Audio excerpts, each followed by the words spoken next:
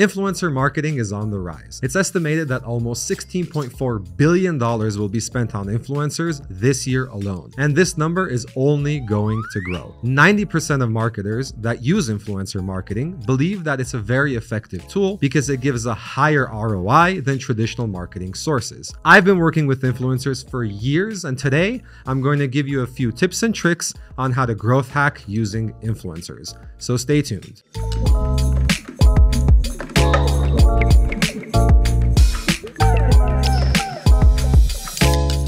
Before getting into the tips and tricks, you have to really understand how to categorize the different types of influencers. In terms of size, it's very straightforward. There are four different types of influencers mega, macro, micro, and nano. Mega influencers have more than 1 million followers. Macro influencers 100,000 to a million, micro influencers 10,000 to 100,000, and nano influencers is anything below 10,000. Besides the size, you also have to understand the category they're in. So based on category, there are 15 different types of influencers. Celebrity, lifestyle, fashion, beauty, sports or fitness, travel, parenting, photography, music, food, gaming, SaaS or reviews, pets, real estate, and virtual. Virtual is quite a new one. It's pretty cool. All the other ones are pretty self-explanatory, but virtual influencers are basically influencers that do not really exist. They're AI-based. They're robots. A good example of this is little Miquela, who has over 3 million followers and deals with Calvin Klein, Dior,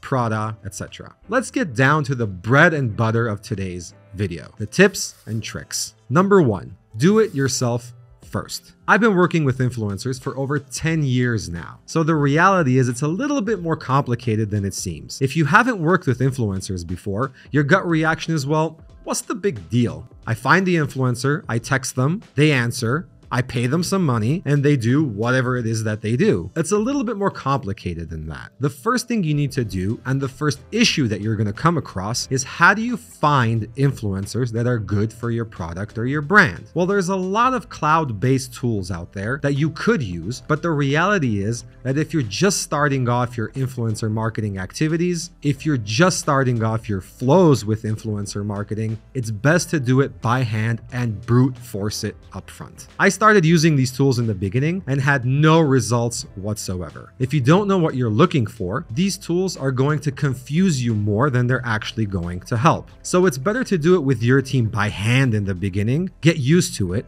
understand the flows, understand what works for you and what doesn't before you start using any type of automation tool. Once you have a flow in place, then you can take that process and put it in an automation tool and scale it. So tip number one, do it yourself first. Number two, choose the size of the influencer wisely. Mega influencers are great because they have huge reach. The problem with mega influencers is they have huge reach. Let me explain. People follow Ronaldo's page because they like how he plays football. So he's an expert of football. He's not necessarily an expert of online productivity tools, he's not an expert of chocolate, or is simply not an expert. So they follow him because he's a football player, or they follow Adele because she's a singer. People follow these mega influencers for a certain talent, and that doesn't necessarily then relate to your product or your brand, and doesn't necessarily convert into sales. Plus, they're very, very expensive. The other issue with mega influencers is if they're promoting any product, then it's obvious to everyone that they're being paid for it. So it comes across as advertising and not organic word of mouth. Macro influencers is a good balance area. You get a good mix between larger visibility, so there's a potential to go viral,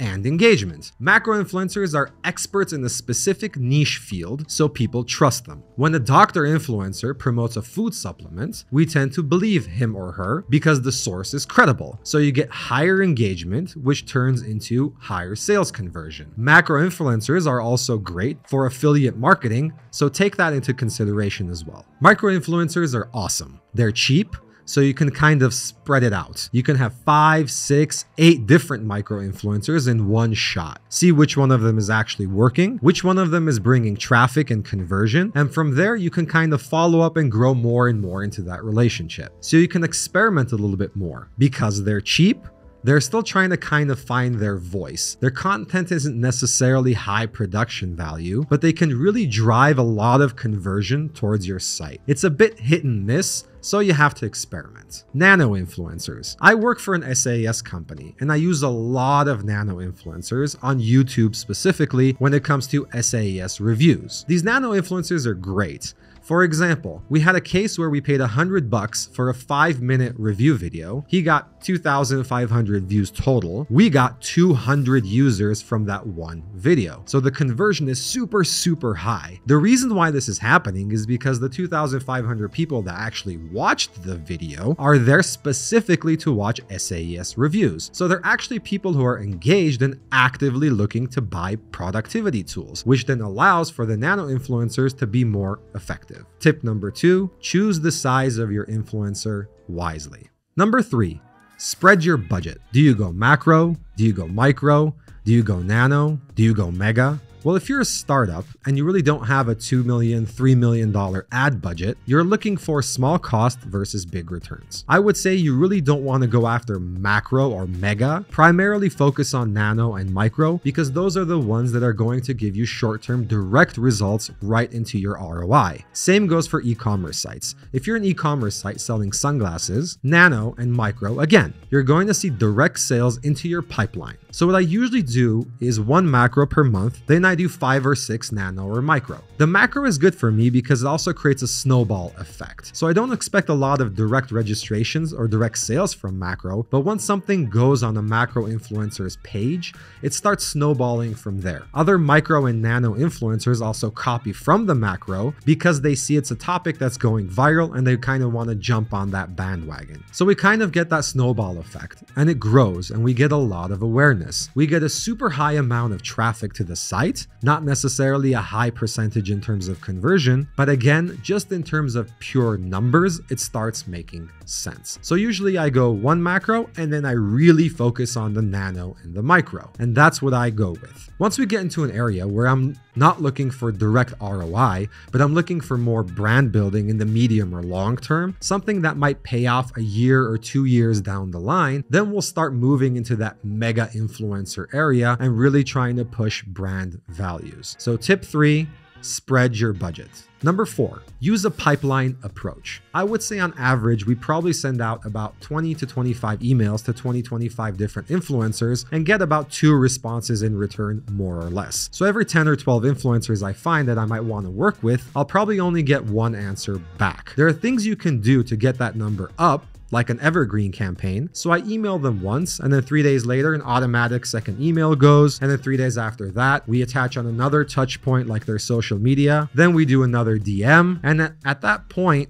if there's no connection, we simply write them off. So as long as I'm emailing 20, 25 influencers per month, then I should be able to get two on board, which means if I want to have a stable stream of six influencers per month, then I need to send out about 60 to 75 emails to maintain my pipeline. A side tip here, for micro and nano. We started by putting them in the same pipeline, but that was a mistake. We simply started emailing them a direct offer upfront, sort of like, hey, we want to sponsor a video. We are willing to pay a hundred bucks. If you're interested, buzz us back. That tactic netted us quicker results. Tip four, use a pipeline approach. Number five, negotiate, negotiate, negotiate. Mega and macro influencers tend to have a team, and the negotiations look and feel a lot like what you would expect from a business perspective. They'll send you a PDF document that includes an offer. It has all the relevant information you might be looking for, like target audience, reach metrics, engagement metrics, etc. You are most likely not going to have direct contact with the actual influencer, but will be negotiating with sales manager or an account manager. They have slightly more rigid policies and not a lot of wiggle room. They don't want to work with a hundred different companies every month. They prefer to work with, you know, four or five companies, but on a longer term basis. So when you're negotiating with them, make sure you're asking for bundle deals, discounts for a longer term contract. And instead of just straight up asking for a lower price, I found it easier to ask for more added value within the same price they're asking for. Micro and nano is a different animal.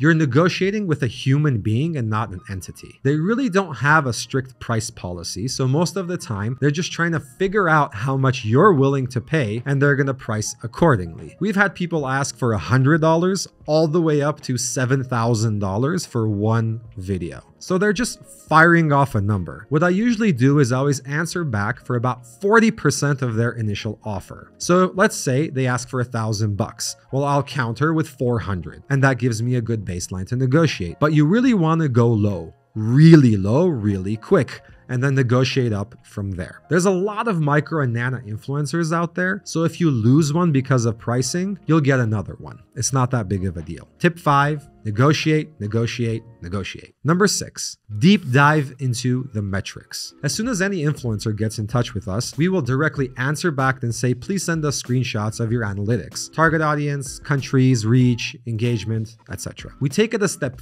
further and manually check the trends on the posts. How often does the influencer post? Are the views going up or are they going down? Is the engagement going up or down, etc. What I usually look for is first of all target audience. Does my target match their followers? Then I'm running a reality check to make sure the followers are not fake accounts. Influencers can always fake the amount of people following them or the number of views on a post or a video, but it's extremely hard to fake engagement. So if you have a video that has 100,000 views but only has 100 likes, then that raises a red flag. This is the part of the process where you need to be picky. Really nitpick on the details, and if your spidey senses tingle and something is off, make sure you ask the influencer why. And if the answer is not good, then bye-bye. Tip 6 deep dive into the metrics. Number seven, don't mess with their content. Once you have found them, once you have the deal, how do you generate content? How much of the content do you actually control? This is very crucial. The key with influencer marketing is that it looks a lot like word of mouth. That's the real value. You want them to be talking from their voice, from themselves, from their perspective. Like they're the one who are using your product or your brand. They like it. That's why they're showing it to their followers. You don't want it to look like an ad. You want it to look like word of mouth. What I usually do is give them the use case. So this is the product and this is how we want people to use the product. Create content for this. And that's it, more or less. We don't give them any scripts. We don't give them copywriting content. We don't give them hashtags or anything like that. Now, we do ask them to send us the video so we can confirm it before they post it. But in 90% of the cases, we give them no feedback. In the 10%, the feedback is mostly technical, like misspelled words or something of that nature. But we don't really go into the details of tone of voice or anything like that because we want it to seem organic and authentic. Tip seven, don't mess with their content. Number eight, start now. Last but not least, the last tip I have is do influencer marketing now.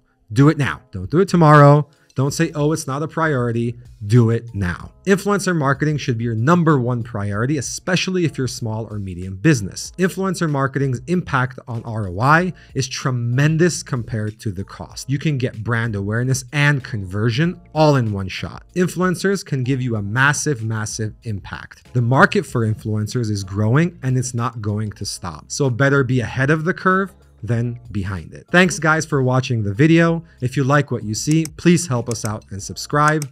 I'll see you next week.